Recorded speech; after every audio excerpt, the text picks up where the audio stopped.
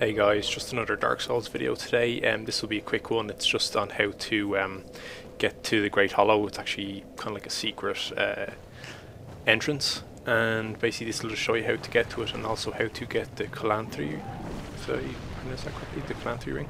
And basically, this ring, it's um, a ring that actually boosts your stamina regeneration. So um, you can stack this item actually with um, the Grass Crest Shield and the Mask of the Child, and also Green Blossom, so you can give yourself nearly um, plus 200% um, stamina regeneration. Um, so yeah guys, thanks for checking out the video and uh, if you liked it please leave a like, um, also comment if you wish and also subscribe for more videos.